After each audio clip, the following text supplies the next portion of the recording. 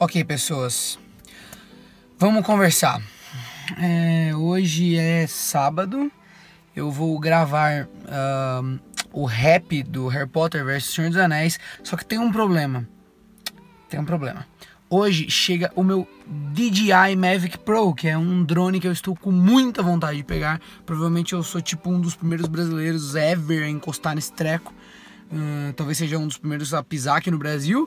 E eu estou muito ansioso. Eu sou uma pessoa que quando eu compro pilha recarregável eu não consigo dormir de ansiedade. E hoje não foi diferente, na verdade faz dois dias que eu não durmo direito por ansiedade de várias outras coisas. Estou aqui dentro do meu carro, vou ir tomar café da manhã e esperar a notificação do correio, para que daí quando ela pisque aqui, eu possa ir até a central do correio e implorar pro cara do correio me entregar a minha encomenda. Esta é minha vida e este é o meu clube.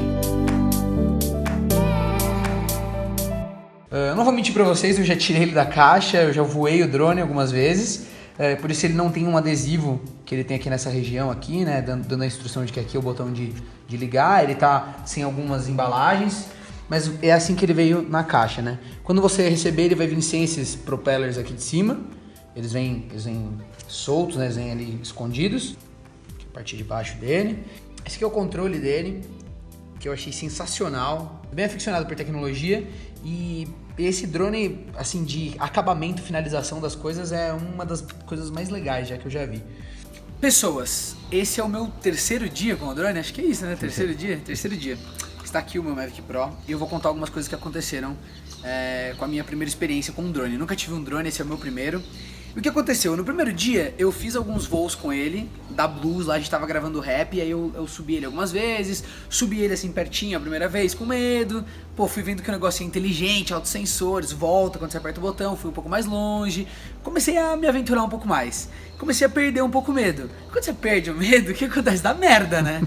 Então eu, eu, eu, a primeira vez que eu derrubei ele, derrubei não, né? Que eu tive uma pequena colisão, foi na Blues, eu fui estacionar em cima de uma mesa, e aí o sensor dele de distância quando você tá chegando muito perto de alguma coisa, ele, ele tira o seu controle, assim, você meio que fica travado porque ele tá com medo de bater nas coisas. E aí começou a ventar ali dentro, assim, ele deu um totozinho numa mesa lá e quebrou a primeira hélice. O meu kit vem uma hélice extra, né? Que vem junto já na caixa, e no kit Fly More vem mais duas, dois pares. Então é bastante hélice. Eu quebrei a primeira lá, aí depois aqui na sala, eu dentro da sala fiz um track num colega, e ele tomou distância para fazer a imagem do colega bateu numa pilastra. Enfim, teve umas coisinhas assim que não eram coisas assim muito sérias, assim, né? Mas a principal, assim, que me fez, me fez realmente notar que eu tava fazendo cagada foi ontem, quando o, eu, eu fiz um voo noturno, galera, vou até mostrar imagens. Voo novo, sensacional, fomos longe, tudo feliz, apertei voltar, voltou. Fiquei muito contente, drone é isso, drone é alegria. Aí o meu amigo virou e falou assim: ah, ele não bate na parede, né? Ele tem aquele sistema automático. Eu falei: é verdade, eu tomei distância da parede assim. E velocidade total. Um blau! O drone na parede, porque o sensor não funciona à noite. Ele tem duas câmerazinhas aqui, ó. E elas não funcionam à noite. Elas não conseguem ver à noite. E tem um aviso no controle bem pequenininho, perto onde mostra os sensores, fica lá escrito, ó, pouca luz, não estou enxergando nada. E eu não vi isso. Então a dica para você que vai comprar um equipamento eletrônico desses que voa, que se locomove, é leia o manual, galera. Juro mesmo, eu dei uma de case mal. Assim, Mas o drone é novo. Mas o meu drone está aqui. É absurdo. O drone é muito legal, ó. O drone é absurdo. Desmontar ele aqui. É que o Gordon é insano, né? Ele, é, o Gordon é insano. Ele é bastante resistente, ó, você vê que ele tem até uma lasquinhazinha. Bem, coisa nada a ver, assim. A, a, a, queda, a queda e a colisão não foi uma coisa tão séria, porque ele não estava tão rápido. Tanto que nem aconteceu nada com o drone. Ele tá novinho ainda. Mas foi isso, galera. Tomem cuidado. Ele é pequeno, ele é muito inteligente. E agora a gente vai tentar ele é fazer é absurdo, uma... ele fica ele é parado, ele tem modo é, de pé, ele tem trekking. Ele, ele, é foda. Ele é foda. Então a gente vai agora numa praça aqui do lado tentar fazer uma, um voo. Ó, ó como é que é a mochilinha, galera. Que vem junto com ele. Você leva tudo, bateria, duas baterias extras, cabo para carregar. Você consegue levar tudo que você precisa para fazer o seu drone voar numa mochilinha minúscula. Eu me sinto muito assim. No, é uma pochete, né? Eu me é sinto é uma muito. Pochete. É uma pochete. Eu me sinto muito no De Volta pro Futuro, tá ligado? Ah, tirando que se você não quiser, você não precisa nem levar o controle. Você pode colocar ele na sua mochila, sei lá, na sua mala de viagem e levar só seu iPhone. Que também dá. Não é a mesma coisa, mas dá. E, gente, é tudo muito parrudo, assim. Ele parecia um brinquedinho de plástico nos vídeos, mas ele é, tá ligado? Maciço, ele é né? maciço, ele, ele, ele, é, ele é um negócio que passa uma segurança. E eu já até testei, né, inclusive, né, a resistência dele. Constatei aí que é bem. bem legal. Tô, tô de drone, Rafael. Rafael. Olha o drone. Vou fazer um voo. Eu estou com um quadricóptero comigo, você entende isso aqui? com baterias extras. Vambora. 70 minutos de voo numa mochilinha. Eu conecto meu celular aqui numa entrada Lightning que ele tem aqui, você pode trocar também para quem usa Android, você troca isso aqui. Aí para ligar você segura aqui o botão, aperta uma vez, depois segura. Ele conecta com o aplicativo da, da DJI. E aí vou ligar o drone agora. Ó. Apertou uma vez, apertou outra e segura. Então, senhoras e senhores, é legal vocês saberem que este é o meu terceiro dia com o drone, entendeu? Então, estamos num lugar relativamente aberto, perto de uma praça aqui, tá ventando de maneira média. Então, se der merda, vocês já sabem que assim, o cara deu merda depois de três dias, entendeu? já é um voo assim que era pra ser um voo show. É interessante ver que ele ainda não pegou nenhum, nenhum satélite. Ele pegou quatro, na real. Na hora que ele subir, ele vai pegar mais, entendeu? Porque tá nublado. Então, ó. Virou aqui e ligou. E vamos que vamos, né? Tá confiante, Rafa? Só vai. Você tá com a capinha. A questão é assim, né? Os profissionais, eles têm um checklist, né? Um, um fly list. O profissional saberia o nome. A sigla. Eu não sei. Parece que... Segunda tentativa. Agora vai. Agora vai ser mais agressivo. Agora. Absurdo. Já tô no... GPS já, já vai ligar, hein? Ó, Rafael, mostra aqui. Só Ó vai. Ele fica paradinho. Aí, ligou, no, ligou o GPS. Agora tá suave. Contato visual. Jacara. Subiu. Já tá lá na Putzken Fiber. Vai, vamos subir essa parada. Ó, galera, olha a altura que a gente tá. Tá? Ó, vou filmar pra baixo. Vamos fazer um tchauzinho pra ele ali? Nossa, tá lá em cima. Dá tchauzinho, Rafael. Ali. Ó, eu acho que a gente pode, primeiro, girar aqui em direção à praça. Cadê a praça? A praça tá ali. Então quer dizer que ela deve estar aqui embaixo. Ó, me ajuda aqui, Rafael. Acho que essa é a praça, não. Acho que estamos filmando a praça. É esse aqui, esse monte de. de, de- de- Isso é a praça. Isso é a praça, ó, Conto Verde. Muito legal. Praça Severo Gomes, uma praça aqui que não fica tão distante da nossa casa. Eu vou voar ele para a direção que eu estou, porque eu sinto mais segurança em fazer isso, Show.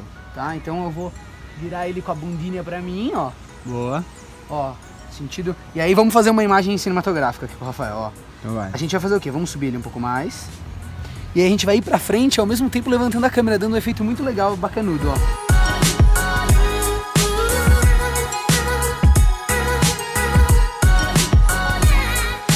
Vamos lá pros prédios, então.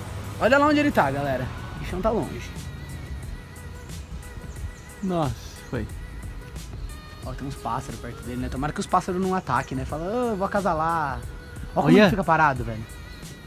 Que louco, né? Que louca a tecnologia. Ó, galera, como ele tá estável. E hoje tá ventando, tá ligado? Eu não tô mexendo no controle. Nossa, absurdo. Ele fica paradinho e nem tá no modo tripé. né? Rafael, eu acho que a gente poderia lançar um desafio, hein? Faz o desafio. Ó, tá vendo aqueles prédios bonitos ali no horizonte? A gente poderia tentar chegar neles. Quer chegar neles, Guard? Ah, acho que a gente poderia tentar. Absurdo. Cadê? Só vai.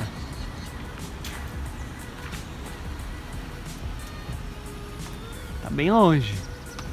Ó, daqui a pouco Eu per- chamo de longínio. perdeu o contato visual daqui a pouco. Mas eu sei que o caminho, ó, eu conversei com um droneiro hoje, que é o meu amigo Cajal, ele tem um canal legal no YouTube que ele faz a Milk TV. Imagens muito bonitas, muito legais de, de rolês, eu tô vendo ele lá, tá longe pra cacete. É, e ele me falou que o segredo disso aqui é você é, manter, você saber que o, o caminho que o seu drone fez está vazio, entendeu? Ele falou, ó, você pode até ir longe, perder o contato visual, mas você sabe que o, a, a rota que você tá fazendo é uma rota que não tem vazia nada. de obstáculos. Ó, ó como a gente já tá perto do, do negócio. Eu, eu não vejo mais ele. Eu não sei mais onde está o meu drone. Show. Ó, eu tô a 414 metros de mim. E eu tenho mais 5 minutos e 35 de bateria, só Acho melhor, né? Realizar aí o quê?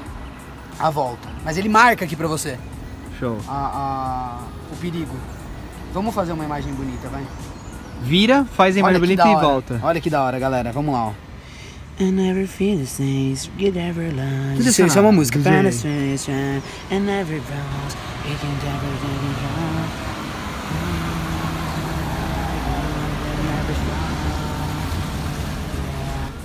Agora vamos voltar ele, galera. Volta. Ó, eu vou segurar aqui o botão do Return Home. Return Home. E ele nem deu aviso ainda de, de segurança, ó. Going Home, olha lá, ele já vira frenético. Vamos ver ele chegando, Vai se a gente enxerga ele chegando. Ele tá longe, hein, Rafael. Tá longe. O bichão tá longe. Olha como tá longe, Rafael. Meu Deus, tá muito longe. Olha lá, já ó, vira na camerinha pra baixo. Ó, pra cima.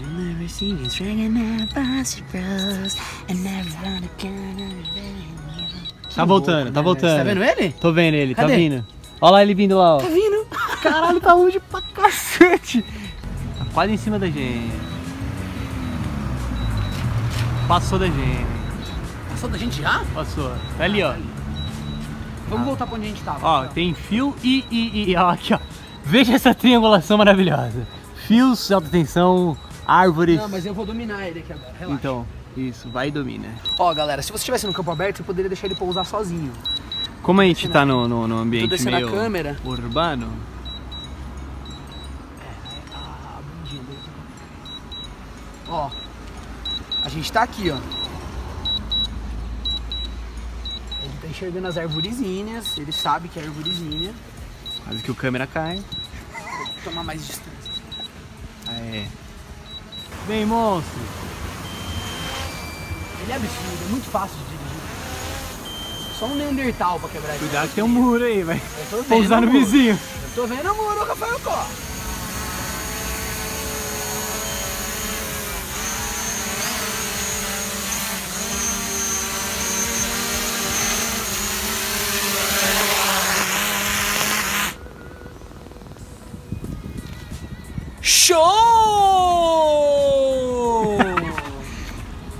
Isso, gente. Eu sou um droneiro agora, oficialmente. Voltei meu drone sem uma colisão.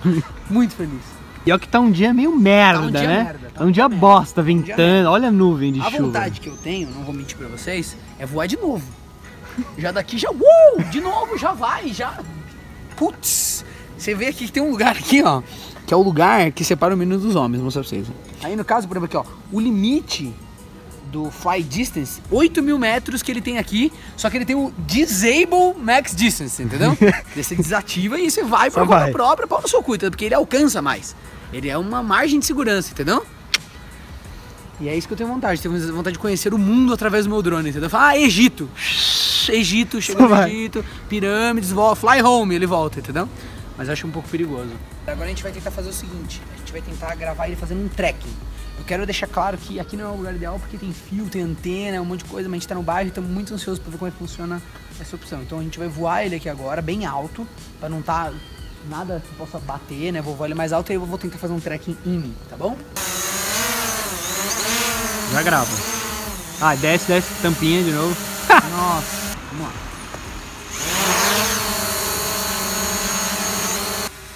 Sai de perto de mim, pra ele traquear só eu. Que grosso. Pronto. Rola até que legal.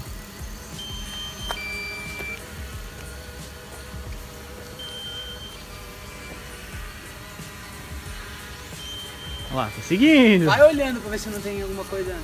Tá seguindo.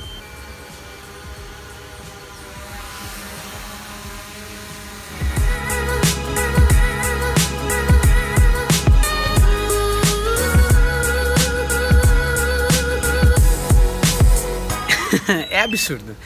Assim, é, é, legal deixar claro que a gente tá fazendo isso na situação mais atípica, no meio merda, da rua, no meio, da, da rua. rua. Filma aqui em cima, ó, cheio de fio, tá ligado? Então, assim, a gente tá... Tem uma antena é. gigantesca aqui. É.